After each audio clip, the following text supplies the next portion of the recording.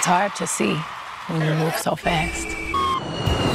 So I left the stage and I joined the audience. I didn't perform, I observed. And what I saw inspired me.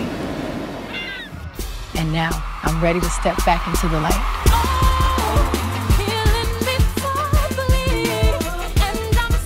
I put so much into my new album, and only Target gives you all of it.